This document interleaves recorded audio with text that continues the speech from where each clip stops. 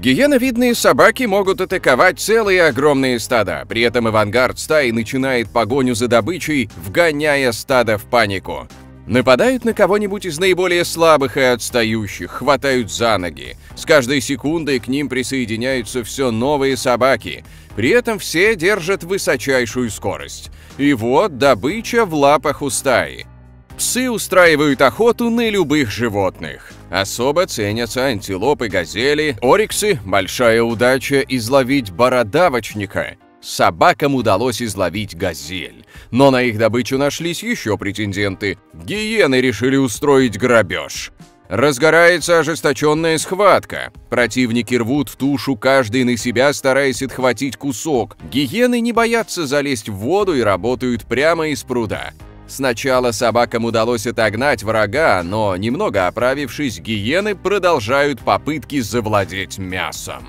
Их теперь несколько. Таким отрядом они добиваются успеха. Но гиены устраивают между собой свару из-за добычи. Они не могут действовать так же дружно, как собаки. Одна из гиен, ухватив тушу, делает попытку скрыться с украденным мясом, но вслед за ней тут же устремляются собаки, чтобы восстановить справедливость. С виду небольшие гиеновидные, собравшись в толпу, могут стать гарантированным приговором даже для крупного хищника.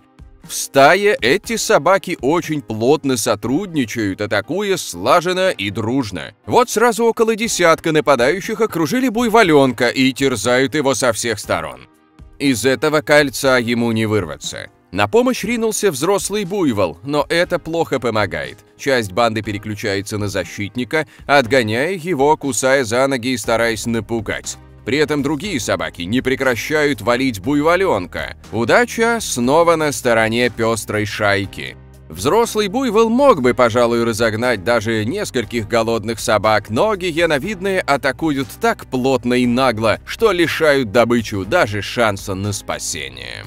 А вот в этом случае безрассудное нападение не увенчалось успехом. Гиеновидные прямо на глазах взрослой львицы пытаются добыть львенка. Их не смущает даже автомобиль с людьми, который находится прямо здесь же. На следующих кадрах стая обнаглела уже настолько, что посягает на детеныша в присутствии не только матери, но и отца. Лев, абсолютно озверевший от подобного, бросается на захватчиков. Одного из нападающих ему удается прихватить. Лев не съел гиеновидную, она ему не нужна. А тут уже матери львицы пришлось наказывать непрошенных гостей. Она показательно несет убитого бойца на обзор стаи, мол, так будет с каждым, и собаки в ужасе ретируются. Стае повезло. Славная и вкусная добыча. Собаки изловили поросенка-бородавочника. И опять фирменная тактика нападать сразу скопом, лишая добычу шансов на бегство. Гиеновидные начинают пир сразу. Каждой особи достанется своя доля. Эти ужасные мясники, пожалуй, покончат с тушей бородавочника за несколько минут. Стая загоняет водяного оленя. Это небольшой олень, у которого нет самого главного оружия, полностью отсутствуют рога. Хотя и они, наверное, не помогли бы против такой большой стаи. Гиеновые нападают сначала небольшой группой, другая часть отряда отсекает оленю путь к бегству. И поодаль ожидают своего часа несколько десятков собак, готовых задавить добычу коллективной атакой. Собаки наносят многочисленные укусы, порой это напоминает атаку осинного роя. Олень старается вскочить и убежать, но его снова заставляют лечь. У собак уходит довольно много времени, чтобы расправиться с добычей, но и здесь они добились успеха.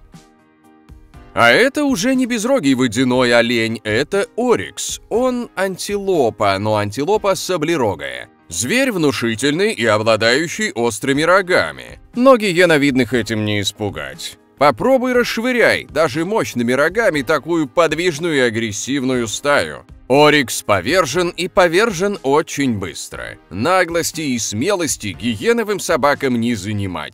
А вот здесь леопарда собакам удалось только испугать. Коту помогли только быстрые лапы и умение лазать по деревьям.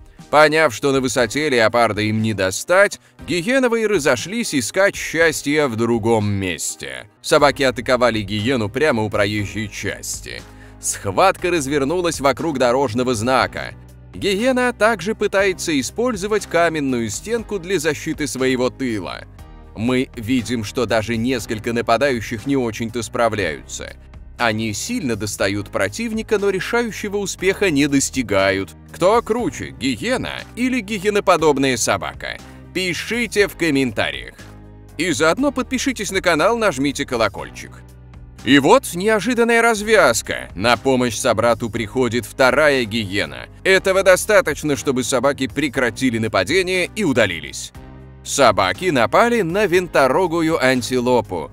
Охоту начинают всего двое из стаи, а затем, как обычно, подключаются все остальные. И снова хищников не страшит ни размер добычи, ни ее острые рога. Разгоряченные псы за несколько минут растерзали свою жертву.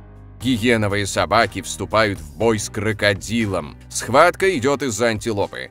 Псу удалось прихватить добычу прямо в воде, но крокодил также нацеливался пообедать. Зубастый прогоняет конкурента прочь, но на берегу ожидает целая стая, которая жаждет мяса. И вот крокодил выхватывает одну из собак прямо с берега. Начинается жестокая схватка. Стая напряженно следит за исходом. Похоже, крокодил расправился с этой гиеновой собакой и решил очистить берег от прочих конкурентов. Присмыкающаяся, выскочив на сушу, агрессивно щелкает зубами. Вот тут моя территория, и всяким собакам в ней не место. Но псы, хотя и осознают смертельную опасность, не бросаются на утек. Этим зверям практически неведомо чувство страха. Крокодил устремляется в наступление, но на суше стая гиеновидных собак сумела отработать проблему настолько смело и грамотно, что сам крокодил убрался обратно в воду, решив не связываться. Газель прячется в реке под берегом, заприметив опасность. А опасность, в свою очередь, заприметила газель и резво спускается к воде. Хищник пытается ухватить добычу, не покидая суши и не желая лезть в воду. Для того есть свой резон. Зачем тратить лишние силы, если газель и так никуда не скроется? В попытке спастись, она пересекает водоем, думая, что на другом берегу все спокойно.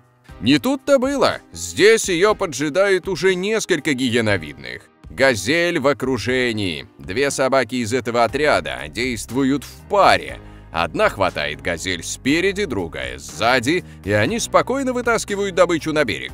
Газель не теряет надежды вырваться, но тщетно. Ее валят с ног и утаскивают ближе к зарослям. Нетерпеливые собаки быстро и легко справляются с добычей.